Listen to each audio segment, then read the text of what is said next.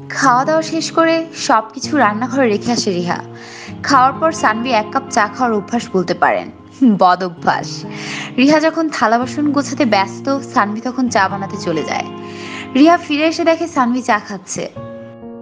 কি ব্যাপার? এখন চা খাচ্ছেন যে? তুমি বলতে বলেছিলাম। সরি স্যার আসলে খাওয়ার পর চা খাওয়াটা আমার বদ অভ্যাস। আচ্ছা। রিয়া অপলক দৃষ্টিতে দেখে সানভির দিকে। সাদা ফ্রেমের চশমায় একটু বয়স্ক লাগছে থাকে তবে বয়স কিন্তু কম।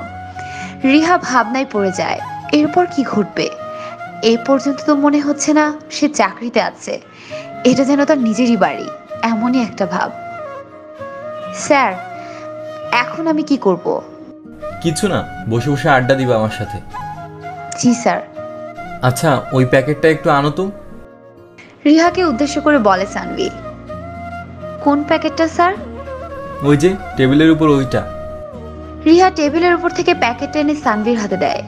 সানভি প্যাকেটটা হাতে নিয়ে বলে এই শাড়িটা তোমার? "হুম, না স্যার।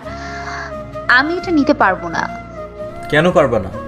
স্যার আমি শুধুমাত্র একজন কর্মচারী। আপনি আমাকে কেন গিফট করবেন? এমনিতেই অনেক কিছু দিয়েছেন। আমি তোমাকে নীল শাড়িতে দেখতে চাই। তাই নিবা এটা। আমি পারব না স্যার। আমি নিতে বলেছি। একটু ধমকে সুরে বলতেই রিয়া নিয়ে নেয় শাড়িটা। তোমরা মেয়েরা না ঢং করতে জানো আর কিছু পারো বা না পারো। জি স্যার হুম, বুঝলাম না। কিছু না আচ্ছা তুমি ইচ্ছা হলে চলে যেতে পারো। না স্যার আমি সন্ধ্যায় যাব। আচ্ছা ঠিক আছে। আসলে সানভি এখন সিগারেট খাবে। তাই রিহাকে পাঠিয়ে দিতে চাইছিল। বাট গেল না। এখন কি করবে? যদিও রিহা তার কিছুই না। তারপর ওর সামনে সিগারেট খেতে কেমন যেন একটা লাগে। তাই সিগারেটের প্যাকেটটা পকেটে রেখে দিল সানভি। বেশ নেশা লাগছে সিগারেটের। অনেকক্ষণ খায় না সে। মাথা গরম হয়ে যাচ্ছে। দিনে এক প্যাকেট সিগারেট লাগে সানভির। আর থাকতে না পেরে রিহার সামনেই সিগারেট ধরায় সানভি। সিগারেটে টান দিতেই ভেতরটা ঠান্ডা হয়ে যায়। রিহা ছল ছল দৃষ্টিতে দেখে সানবিকে। আর কেন জানি কষ্ট হচ্ছে সহ্য করতে পারছে না। সানভির সিগারেট খাওয়া আরও কয়েকটা টান দিতে রিহা হুট করে সিগারেটটা ফেলে দেয় সানভির হাত থেকে। কেন এমন করল সে নিজেও জানে না। সানভি অবাক হয়ে দেখে রিহাকে। হঠাৎ কি হলো ওর? আর খাবেন না সিগারেট। কেন? আমি বলেছি তাই। তুমি কে বলার? সরি স্যার আমি ভুলে গিয়েছিলাম। আমি শুধুই চাকর। হুম। কথাটা বলে রিহা ভাবতে থাকে উনি সিগারেট খেলে আমার কেন কষ্ট হবে? উনি তো আমার কেউ না। আমি চাকরি করব টাকা পাবো আর বেশি কিছু না। স্যার আমি কি যেতে পারি আজকে? হুম যাও। আর নিচের তালার চাবিটা নিয়ে যাও। আচ্ছা। সানভি ড্রয়ার থেকে চাবি আর বিশ হাজার টাকা বের করে রিয়ার হাতে দেয়। কিছু টাকা নিয়ে যাও আর বাকিটা মাস শেষে নিও। থ্যাংক ইউ স্যার ওয়েলকাম বিশ হাজার টাকা হাতে পেয়ে রিয়া আনন্দে কেঁদে ফেলে। বাসায় যাওয়ার পথে বাজার থেকে মাছ মাংস ডিম আর মায়ের জন্য ওষুধ নিয়ে যায়। বাসায় গিয়ে রান্না করে রিহা হাতটা কিছুটা কেটেছে তবে ব্যথা নেই একটু হাতে ব্যান্ডেজ করা দেখে রিয়ার আম্মু জিজ্ঞেস করে কি রে হাতে কি হয়েছে? একটু কেটে গেছে। বেশি কাটে নাই তো? না আম্মু একটু কাটছে। স্যার খুব ভালো মানুষ সাথে সাথে ব্যান্ডেজ করে দিয়েছেন। খুব ভালো। আর মা তোমার ওষুধ আর কালকে আমরা এই বাসা ছেড়ে দিচ্ছি। বাসা ছেড়ে দিলে থাকব কোথায়? স্যার তার বাসার নিচের তলাটা আমাদের থাকার ব্যবস্থা করে দিয়েছেন। আনন্দে রিয়ার মাও কেঁদে ফেলেন। ওদিকে সানভি ভাবছে কালকে কি হবে? কতদূর আগাতে পারবে এসব? রিয়াকে পাওয়ার সেই পুরনো ভূত আবারও তার মাথায় চাপছে। তবে এইবার আর প্রেম নয়, করলে ডিরেক্ট বিয়ে। পরের দিন সকালে রিয়া সবকিছু গুছিয়ে নিয়ে রওনা দেয় সানভির কাছে। ভাবছে সানভির বাসায় ওঠাটা কি ঠিক হবে? এখনও ঠিক করেনি রিয়া যে সানভির বাসায় উঠবে কিনা। মনে মনে ভাবছে সানভির এত কাছে থাকাটা উচিত হবে কি? ভাবতে ভাবতে সানভির বাসায় চলে আসে রিয়া। দরজায় নক করতেই দরজা খুলে যায়। মনে হয় দরজা খোলাই ছিল। ভেতরে ঢুকে রিহা ব্যাগটা রেখে সোজা রান্নাঘরে চলে যায়। সানভি এখনও ঘুমোচ্ছে তাই ডাকেনি তাকে।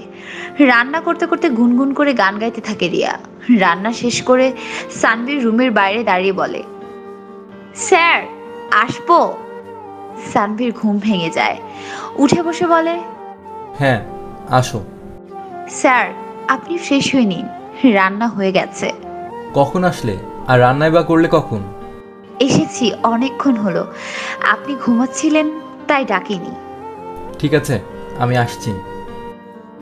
বলেই ফ্রেশ হতে চলে যায় সানবি। হাত মুখ ধুয়ে এসে খেতে বসে সানবি।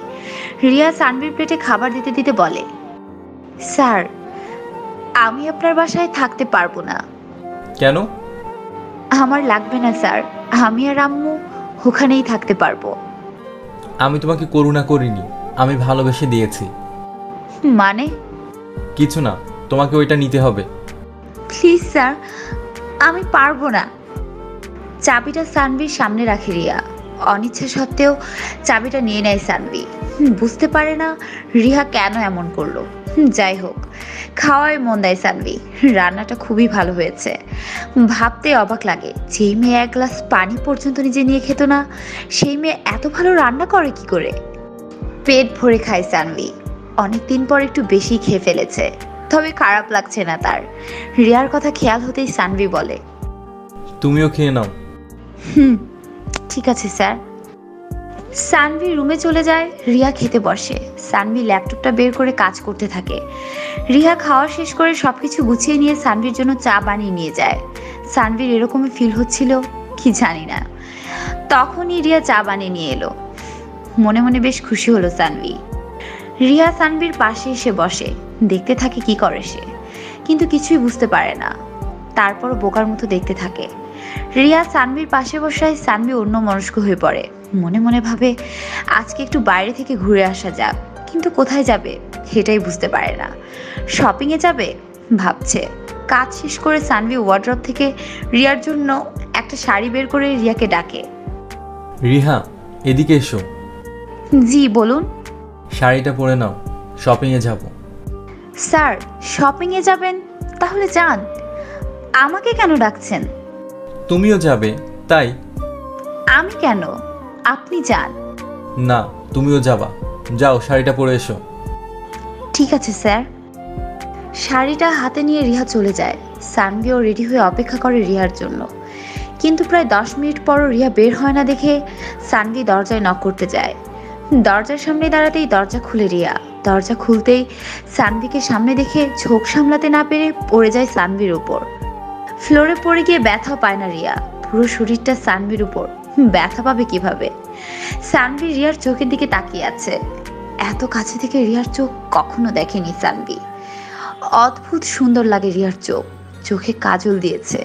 কপালে টিপ, ঠোঁটে লিপস্টিক তবুও কি জানি নাই, কেমন জানি অসম্পূর্ণ লাগছে রিয়াকে। রিয়া উঠে দাঁড়িয়ে নিজেকে সামলে নেয়। সানভির দিকে হাত বাড়িয়ে দেয়। সানভি রিয়ার হাত ধরতে শরীরে যেন কারেন্টের শখ খায় সানভি।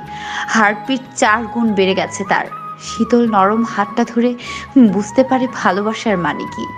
কিন্তু শুধুই একতরফা। কেউ জানে না হোপাসের মানুষটা এখন কি ভাবছে। তবে রিহা যে লজ্জা পাচ্ছে, এটা সানভি ঠিক বুঝতে পারে। উঠে দাঁড়ায় সানভি। পায়ে বেশ লেগেছে তবে সমস্যা হবে না। সানভি রিহাকে নিয়ে বাইরে এসে গাড়িতে ওঠে। সানভি গাড়িতে উঠে রিহার দিকে তাকায়। রিহা পেছনে বসতে সানভি বলে সামনে এসে বসো। জি স্যার। রিহা সামনে এসে বসতেই সানভি গাড়ি স্টার্ট করে। রিহা চুপচাপ রাস্তা দেখে। চঞ্চল মেয়েটাকে এরকম চুপচাপ দেখতে মোটেও ভালো লাগছে না সানভির। রিহা একটা কথা বলব? বলেন। তোমাকে এরকম চুপচাপ ভালো লাগে না। তুমি কি আমাকে ভয় পাও? নাকি লজ্জায় কথা বলো না? কোনটা? কোনোটাই না। আচ্ছা তুমি আমার ফ্রেন্ড আজকে থেকে ঠিক আছে? এখন তো কথা বলবা আর আমাকে স্যার বলবা না। আচ্ছা বলুন। তাহলে কি কি কিনবেন? কেমন জানি লাগে রিহার কাছে সানভির সাথে কথা বলতে। বারবার মনে হয় বেশি কথা বললে সানভির প্রেমে পড়ে যাবে তাই কথা বলে না। কিনবো অনেক কিছু। তুমি কিছু কিনবা? না স্যার। আমার কিছু লাগবে না। আবারও স্যার? সরি সানভি হুম আচ্ছা একটা গান গাও তো। আমি গান পারি না। আচ্ছা থাক তাহলে।